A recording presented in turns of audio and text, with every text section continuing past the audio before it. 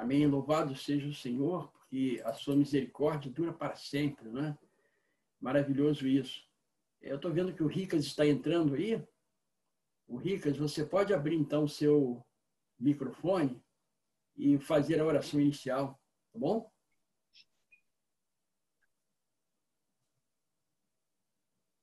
Ok, pastor. Vamos orar então. Vamos orar. Senhor Deus e Pai, primeiramente nós te agradecemos por esse dia, o grande milagre da vida, pois acordamos e estamos aqui Amém. para te adorar, te louvar e te agradecer nesta manhã. Obrigado por tudo que tu tem feito pela humanidade, por estarmos aqui na tua presença. E te pedimos nesse mesmo instante que tu mandes exposta o teu Santo Espírito sobre nós, sobre cada um, para que possamos abrir a tua palavra e refletir sobre a mensagem que tu tens para nós. Abençoe o teu servo, se dispôs a neste horário todos os dias transmitir a tua palavra, o teu coração, a tua boca, para que possamos compreender a nossa melhor a nossa missão. Que assim seja em teu nome e em nome do teu filho amado Jesus Cristo. O Senhor Jesus seja louvado hoje e sempre. Amém. Amém. Amém.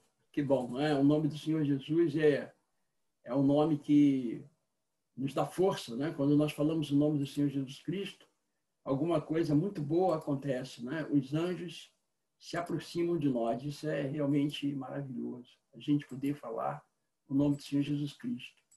E nós, então, vamos dar continuidade ao nosso assunto. Não é? Aqueles que têm a revista, peguem a revista. Aqueles que não têm, podem participar aí através da, do, do PDF, né, que eu mandei aí esses dias. Hoje, eh, nós vamos estudar a quarta meta. Interessados recebendo estudos bíblicos. Até aqui, nós estávamos falando a respeito do preparo, do preparo de pessoas dando estudos bíblicos, de irmãos sendo preparados para poder dar estudos bíblicos. Nessa quarta meta, agora nós vamos trabalhar é o número de interessados recebendo estudos bíblicos. Ou seja, é, é o preparo para que as pessoas lá fora recebam os ensinamentos da palavra de Deus, como foi é, a ordem de Jesus. Estatisticamente, é, em cada quatro pessoas que estudam, uma pelo menos toma uma decisão ao lado do Senhor Jesus Cristo e acabam se batizando. E isso é muito mais facilitado quando acontece em pequenos grupos, em unidades de ação ou em pequenos grupos de pessoas. É muito mais fácil a pessoa se desembaraçar é, da sua timidez, é, do seu acanhamento num grupo pequeno. Há muitas pessoas que não iriam numa igreja, pelo menos não à primeira vista, elas não iriam a uma igreja, mas elas certamente iriam na casa de um amigo, de um vizinho, e, e, e nós estamos aí exatamente para poder fazer essa articulação. Porque quando as pessoas vão na nossa casa e elas observam como nós procedemos, as músicas que cantamos, as mensagens que nós pregamos, quando as pessoas observam isso, elas acabam notando que a nossa igreja é uma extensão também do, do nosso lar, o nosso lar é uma extensão da igreja, e assim elas se dispõem a, a, a participar da igreja. Então, se elas vão no pequeno grupo, elas ficam mais abertas para poder ir até a igreja e ao templo e poder orar junto conosco. E é ali no pequeno grupo, então, que as pessoas vão é, finalmente aceitar o batismo, que é a consumação do trabalho evangelístico. É lógico que não para aí, porque tem todo um ensinamento, tem todo um convívio, tem todo um conjunto de fatores que as pessoas vão precisar observar. Mas o batismo, de fato, eu costumo dizer que o batismo é o salário do evangelismo, né? é, é, é, é a ponta, é o final. É, e, e isso fica evidente no apelo feito aos conversos de Éfeso, quando Paulo fez essa, esse apelo, e, e nós vamos observar aqui, eu, eu gostaria de ler com vocês alguns textos, tá? são textos assim bem, é, bem, bem assim, é, ao ponto para aquilo que nós estamos estudando. Né? Vamos abrir a nossa Bíblia em Atos 19, de 4 a 6. Atos dos Apóstolos 19, de 4 a 6, está escrito assim: Disse-lhes Paulo: João realizou o batismo de arrependimento, dizendo ao povo que cresce naquele que vinha depois dele, a saber, em Jesus. Eles, tendo ouvido isto, foram batizados em o nome do Senhor Jesus. E, impondo-lhes Paulo as mãos, veio sobre eles o Espírito Santo, e tanto falavam em línguas como profetizavam. É, então, esse foi um fenômeno é, que aconteceu em Éfeso. Agora, nós vamos ver o batismo né, sendo sempre gerado como a consumação do trabalho. Nós vamos ver agora na experiência é, de de Lídia. Lídia foi uma pessoa muito importante também. Era uma a, a sua conversão e batismo foi algo assim muito, é, eu diria, foi é, um avanço para a igreja, né? Porque ela era uma pessoa muito, muito dinâmica. E vale aqui salientar que as mulheres tiveram um papel muito importante no crescimento da igreja no Novo Testamento. Então, Lídia e sua família, Atos 16, verso 14, está escrito assim. É, certa mulher chamada Lídia, da cidade de Tiatira, vendedora de púrpura, temente a Deus, nos escutava. O Senhor lhe abriu o coração para atender às coisas que Paulo dizia.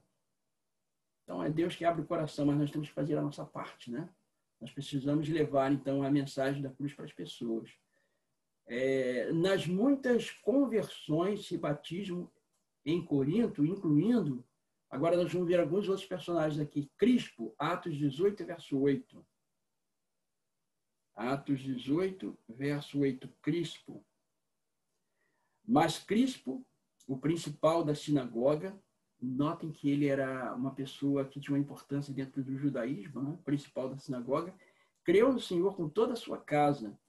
Também muitos dos coríntios, ouvindo, criam e eram batizados. Então, aqui nós estamos vendo aí a consumação do trabalho. Né? Gaio, 1 Coríntios 1, 14. O outro personagem. 1 Coríntios, capítulo 1, verso 14.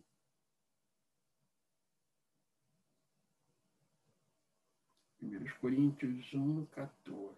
Vamos lá. Vamos. Dou graças a Deus, porque a nenhum de vós batizei, exceto Crispo e Gaio.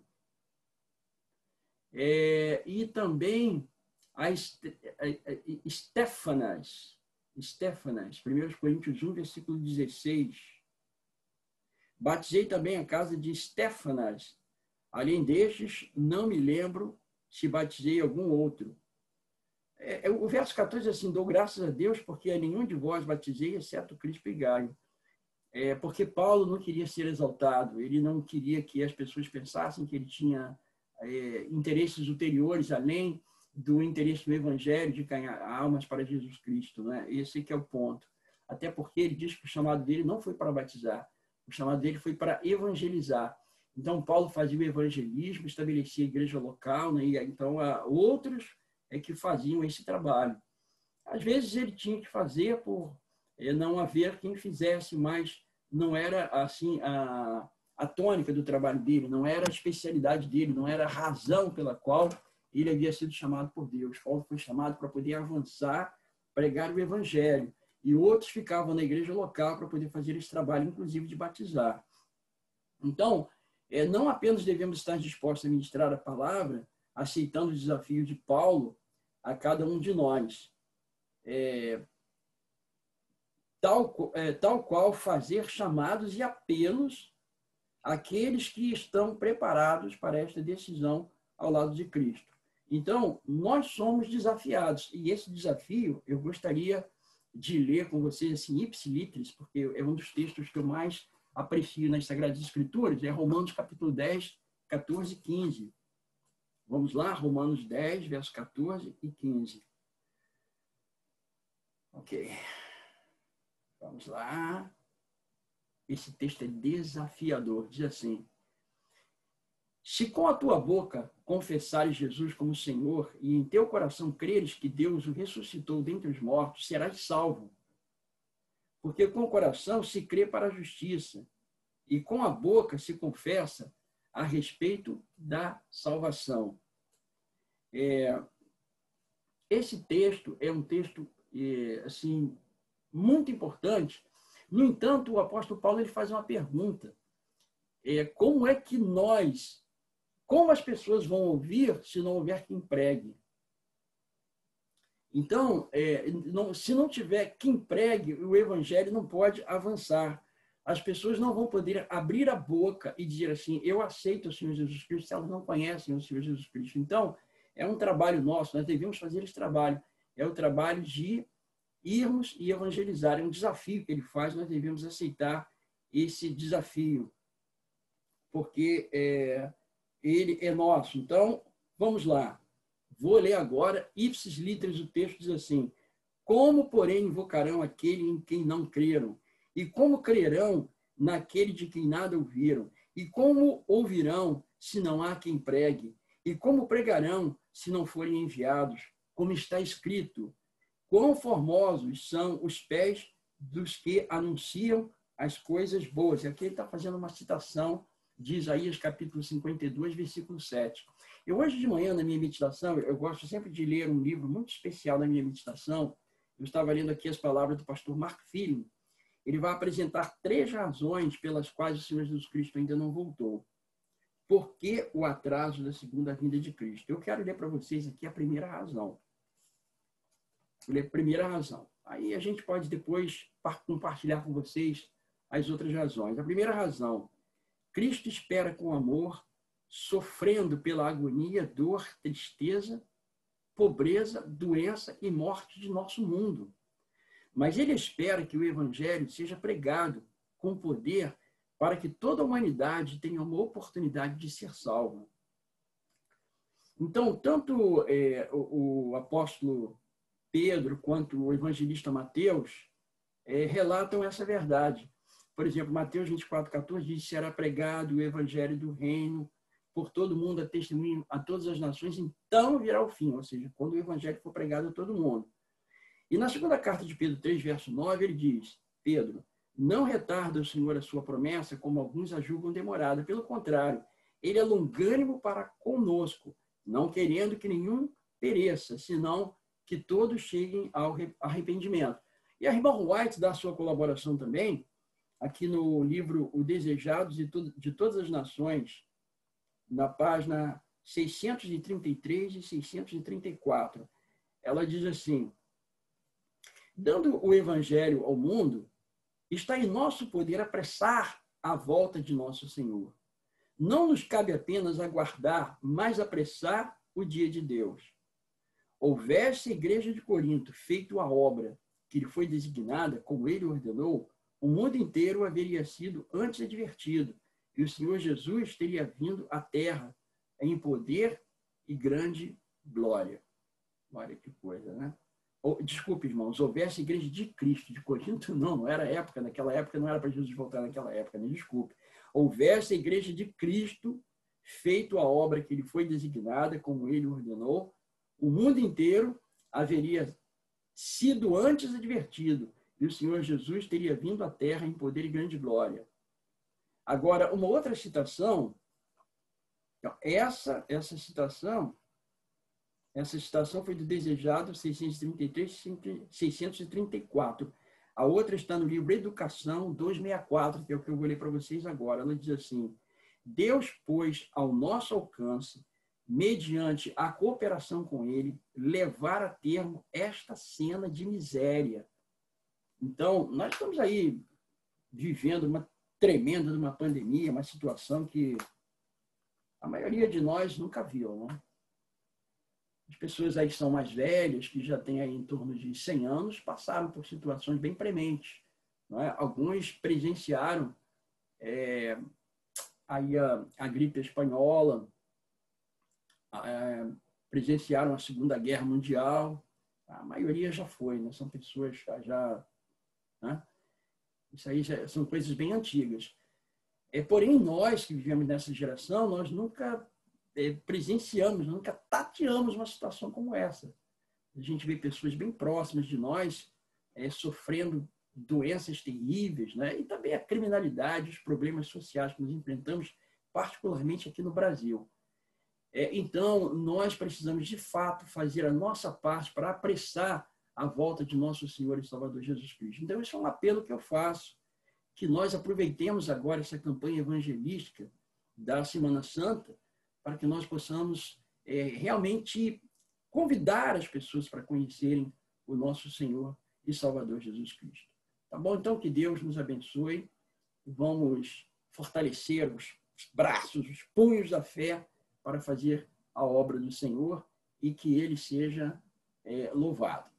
E amanhã, irmãos, nós vamos falar a respeito do discípulos fiéis. É a meta 5. Amanhã discípulos fiéis, nós nos encontramos aí neste mesmo horário para poder estudarmos um pouco mais a palavra de Deus. Vamos então fazer a oração final. Pai Celestial, a Ti, Senhor, nós tributamos o nosso louvor, toda honra e glória devidas ao Teu nome, e acima de tudo, Senhor Deus, a nossa gratidão profunda, porque um dia Tu nos chamaste das trevas para a Tua maravilhosa luz e ainda nos deste esta prerrogativa de sermos coparticipantes com o Senhor Jesus Cristo da salvação dos perdidos. Pedimos a Ti, Senhor, que Tu nos fortaleças a fé, fortaleças os nossos joelhos em oração e derrame, ó Deus, sobre nós o Teu santo e bom Espírito. Ó Pai, eu te peço, no nome sagrado de nosso Senhor e Salvador Jesus Cristo, que vive pela eternidade. Amém. Que Deus abençoe a todos nesse dia e que as bênçãos sejam não apenas hoje, mas sempre. Amém.